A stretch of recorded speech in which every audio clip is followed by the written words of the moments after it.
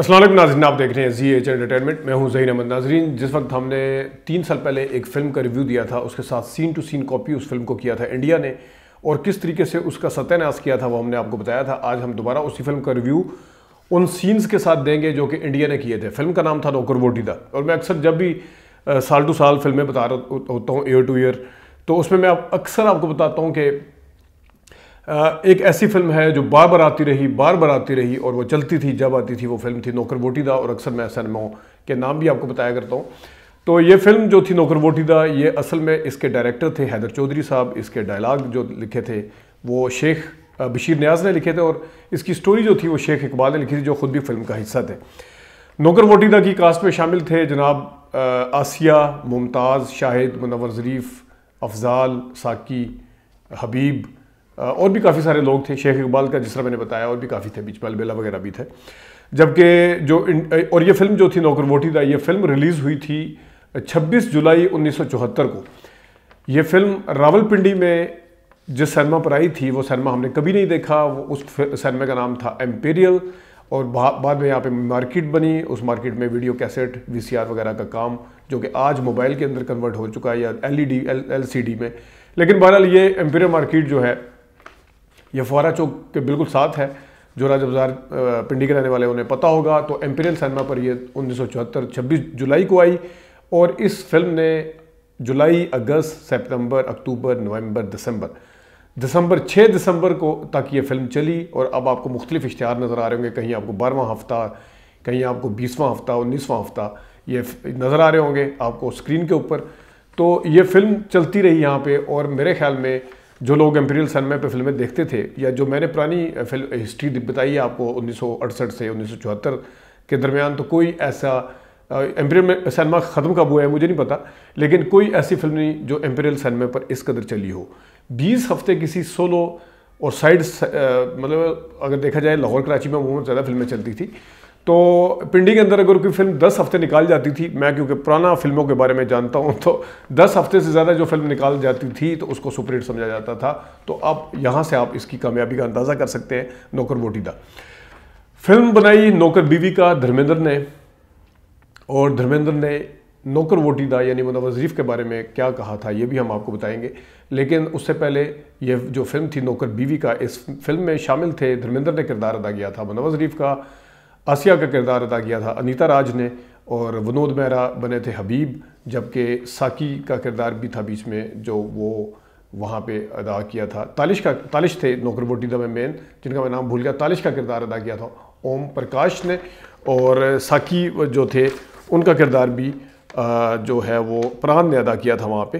तो ये हम आपको सीन टू सीन दिखाते हैं फ़िल्म। सबसे पहले मुनवर ज़रीफ़ डाकू बन के अपनी माँ के पास आते हैं। उनका किरदार इस किस्म का था कि उसमें लाइट कॉमेडी भी थी और प्रॉब्लम भी थी मसाइल भी थे। उस किरदार के अंदर माँ को तंग करने के हवाले से फिर वो किस किस्म का उसका किरदार था उसको कंसीव कैसे किया मतलब ज़रीफ़ ने? फ़र्क आप देखिएगा। तो जब माँ के पास आते हैं डाकू बन के मतलब ज़रीफ़ साहब ये कर, ये ज़रा सीन देखिएगा आप। खतरनाक डाकू! है नाजरीन आपने देखा और इसी तरह धर्मेंद्र साहब जो हैं वो अपनी माँ के पास आते हैं और आके माँ के पाँव में पड़ते हैं या माँ को पहले डराते हैं। एक बुढ़िया आफत की पुड़िया जो भी वो कहते हैं ये पहले ये देखिएगा ज़रा। शोर नहीं बुढ़िया आफत की बुढ़िया। कहा है वो दीपा? खाली टीन का पीपा टन टन टन उसके बाद जनाब जो अगला सीन है नकाब उतारते हैं जनाब मनवर ज़रीफ़ साहब नकाब उतारते हैं और फिर माओ के माँ के पाँव में पड़ते हैं जो भी करते हैं नकाब उतारने के बाद उनका ऑल टुगेदर वो जो डराने वाला था वो चेंज हो जाता है। वो किस तरह है वो ज़रा देखिएगा आप। माँ मुझे बचा लो। एक्टर बनने से पहले ही ये ये तेरे बकरे की बलि ले लेंगे और इसी तरह धर्मेंद्र ने इस सीन के साथ क्या किया है? आपने देखा मनवर ज़रीफ़ साहब जो हैं वो कितने बेसाख्ता उन्होंने अदाकारी की। उन्होंने पहले डराने के हिसाब से देखा जाए, पहले वाले सीन में भी आपने फ़र्क देखा। दूसरे में भी जिस वक्त वो माँ के पाँव वगैरह पढ़ते हैं, माँ से माफ़ी मांगते हैं, वो बड़ा नेचुरल था, उसके अंदर कोई ओवर एक्टिंग नज़र नहीं। लेकिन यहाँ पे आप देख सकते हैं, माँ, मुझे माफ़ कर दे माँ। तो ये बिल्कुल पता चल रहा है कि उनकी शख्सियत नहीं है, उन्होंने सिर्फ़ फ़िल्म उन्हें पसंद आई क्योंकि वो बना सकते थे, उन्होंने बनाई फ़िल्म। लेकिन आपको वाज फ़र्क नज़र आएगा कि किस तरीके से उन्होंने उन्होंने सत्यानाश किया। वैसे कोई और होता तो उन्हें ये किरदार ना करता, क्योंकि नज़र आता है कि वो नवाज़ शरीफ के बिल्कुल गर्द को भी नहीं छू पा रहे तो उन्हें महसूस हो जाना चाहिए था कि मेरा एक अपना स्टैंडर्ड है, अपना लेवल है तो मैं अगर ये करूँगा तो ये इसमें किरदार में फिट आऊँगा या नहीं आऊँगा। देखिए ज़रा किस तरह उन्होंने वो एक्टिंग की।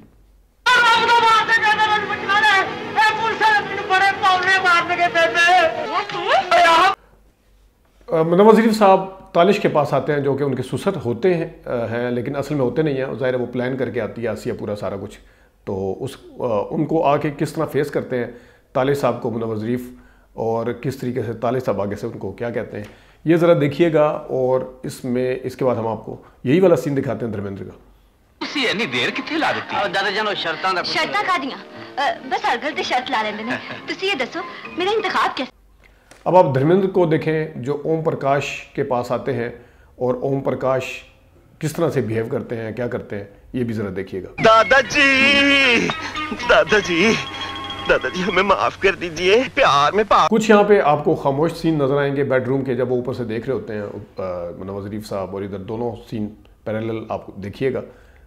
और ये ये सीन दिखाने का मकसद सिर्फ़ ये है कि कम अज़ कम बंदा एंगल कैमरे के कोई डायलाग कोई थोड़ी सी प्लेसमेंट जो कैमरे की, वो कुछ किरदारों की, वो कुछ सीन अपनी तरफ़ से क्रिएट कर लेता है, लेकिन नहीं।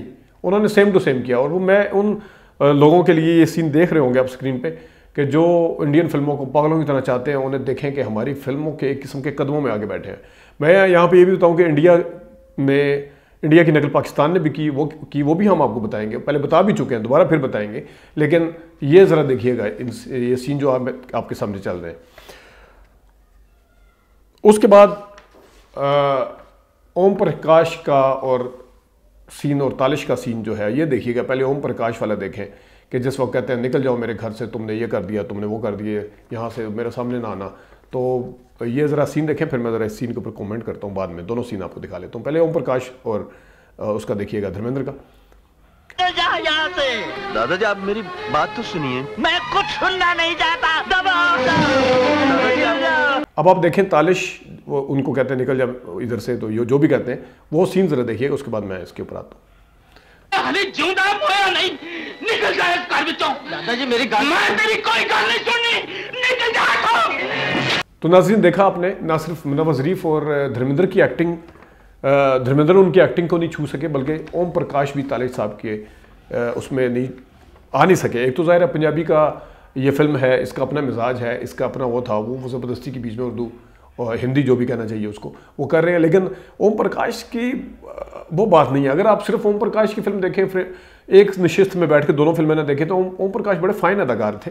लेकिन यहाँ पे जिस वक्त आप कंपैरिजन करने बैठते हैं फिर आपको पता चलता है कि तालिश किस कदर भारी अदाकार थे। भारी भरकम अदाकार। वो भारी भरकम उनका कद नहीं था आ, उनकी उनकी अपीरेंस नहीं थी बल्कि वो भारी भरकम अदाकार थे जिनके अंदर हर किस्म का किरदार अदा करने की खा वो सन अंदाता का विलन विलन हो खा वो विलन हो, खा वो कॉमेडी किरदार कर रहा हो, खा वो ज़िंदगी फ़िल्म का बाप हो, खा वो जो भी हो, लेकिन आपको नज़र आएगा। उसके बाद मनव ज़रीफ़ और अफजाल अफजाल को जो मारते हैं मनव ज़रीफ़ साहब, अफजाल का ये किरदार जो था मुझे खुद अंदाज़ा नहीं था कि वो अफजाल साहब ये करेंगे, लेकिन बहरहाल करना था तो वो मारते हैं और ये वाला ज़रा सीन देखिएगा और उसके बाद फिर ये देखिएगा ज़रा। तो यही सीन जो है, वो आपको इंडिया के उसमें नज़र आएगा, ये ज़रा देखिएगा धर्मेंद्र साहब क्या सलूक कर रहे हैं। और इस सीन का, उस, उनके साथ, उसके साथ क्या सलूक कर रहे हैं और सीन के साथ क्या सत्यानाशी कर रहे हैं। तो नाजरीन, ये थी नौकर बीवी दा, नौकर बीवी का और नौकर वोटी दा का फ़र्क। आपने देखा और मैं आपको बताता चलूँ कि जिस वक्त मुस्तक ऋषि साहब से धर्मेंद्र साहब मिले थे, एक तो मैंने कहीं पढ़ा भी था अखबार में, उन्होंने कहा था कि मैं, मेरे लिए एक ये मैंने खराज तहसीन पेश किया है। नवाज़ शरीफ साहब को, लेकिन मैं उनको छू नहीं सका, मैं वो वाला किरदार नहीं कर सका जितना करना चाहिए था, उन्हें खुद भी बाद में एहसास हो गया था। तो मुसैद साहब ने भी हमें बताया था कि जिस वक्त वो उनसे लंदन में मिले थे, उन्होंने जहाँ नूरी ना तो मौला जट, क्योंकि इन्होंने जिन्हें नहीं दूँगा, वो भी हम आपको दिखा चुके हैं यहाँ पे, उसको जो कॉपी किया था, लेकिन उन्होंने फिर उस वक्त भी उनके सामने नौकर वोटीदा का और नवाज़ शरीफ की फ़िल्म का भी तस्करा किया था और उनकी तारीफ़ बहुत ज़्यादा की थी। नाजरीन, ये है हकीकत जो फ़िल्मों के हवाले से है, हम अपनी मुर्गी को दाल के बराबर समझते हैं। और देखते हैं कि वो इंडिया की इंडस्ट्री बहुत बड़ी है। वो अगर वही वाले सीन सेम कर रहे होते हैं तो हम संजीदा होकर देखते हैं कि इंडिया कर रहा है और वही सीन सेम पहले पाकिस्तान कर चुका होता तो उसको मज़ाक भी उड़ाने की कोशिश करते हैं। लेकिन बहरहाल नौकर मोटीदा की कामयाबी इस बात की ज़मानत है कि इस फ़िल्म को यहाँ पे कितना सराहा गया था। लेकिन हमारे यहाँ कुछ तबका, कुछ ऐसे हैं लोग जो खाम खा फ़िल्म को देखे बगैर, एक सीन को देखे बगैर ये कह देते हैं कि नहीं नहीं पाकिस्तानी फ़िल्म नहीं, बस ऐसे ही होगी। तो ऐसा नहीं है। ऐसा नहीं है, बिल्कुल। तो ये हम इस तरह के कंपेरिजन और भी दोबारा आपके सामने लेके आएँगे। अपना ख्याल रखिएगा। अभी तक के लिए इतनी इजाज़त दीजिए। अल्लाह हाफ़